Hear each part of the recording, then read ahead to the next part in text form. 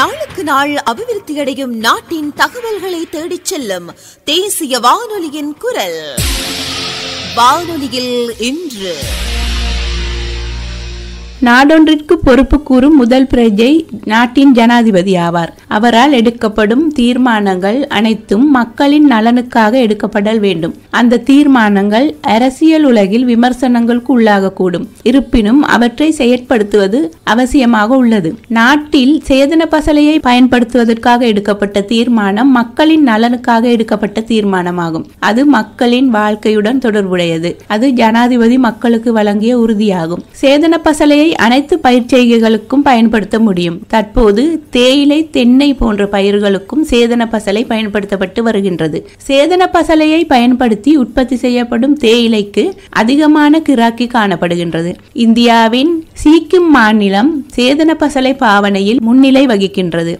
அந்த மாநிலம் சேதன பசலை ராஜ்யமாக மாறியுள்ளது. சிக்கிம் பிராந்திய விவசாயிகள் உயர்ந்த வருமானத்தை ஈட்டி வருகின்றார்கள். இந்த ராஜ்யம் இரண்டாயிரத்து மூன்றாம் ஆண்டு சேதன பசலை பயன்பாட்டிற்கு மாறியது. ஆரம்பத்தில் இது கடுமையான பயணமாக இருந்தாலும் தற்போது அந்த மாநிலம் சேதன பசலை பாவனையில் பாரிய வெற்றியை கண்டுள்ளது. ரசாயன பசலை கிருமிநாசினி களைக்கொல்லி என்பன மண்வளத்தையும் நீர்வளத்தையும் சூழலையும் நாசப்படுத்துகின்றன. இவற்றால் மனித உயிர்கள் பலிகொள்ளப்படுகின்றன. attenzione அத்துடன் அந்த ரசாயன பசலை கிருமிநாசினி களைக்கொல்லி என்பனவற்றின் பயன்பாட்டினால் சிறுநீரக நோய் புற்றுநோய் நீரிழிவு நுரையீரல் நோய் குருதி நோய்கள் அதிகரித்துள்ளன. மனநோய்களுக்கும் ரசாயன பசலை காரணமாக அமைவதாக பரிசோதனைகளின் மூலம் கண்டறியப்பட்டுள்ளது. மூவாயிரத்திற்கும் அதிகமான விவசாயிகள் சிறுநீரக நோயாளர்களாக இனம் காணப்பட்டுள்ளார்கள். அத்துடன் சிறுநீரக நோயாளர்களின் எண்ணிக்கை அறுபதாயிரத்தையும் தாண்டியுள்ளதுடன் இருபதாயிரத்திற்கும் அதிகமான புற்று நோயாளர்கள் காணப்படுகின்றனர். இந்த எண்ணிக்கை நாளாந்தம் அதிகரித்து செல்கின்றது. தொற்றா நோயாளர்களின் எண்ணிக்கையும் அதிகரித்து வருகின்றது. இதற்கு நாடு இனம் என்ற ரீதியில் நாம் சிந்திக்க வேண்டியுள்ளது.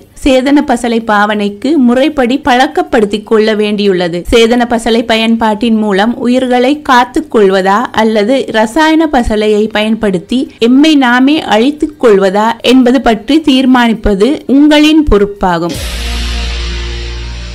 ஆக்கம் மற்றும் மேற்பார்வை சாந்தி வீரசிங்கர். குரல் தயாரிப்பு பிரியதர்சினி செல்வதுரை. இது செய்தி மற்றும் தமிழ் நடப்பு விவகார பிரிவின் தயாரிப்பு. வானொலியில் இன்று.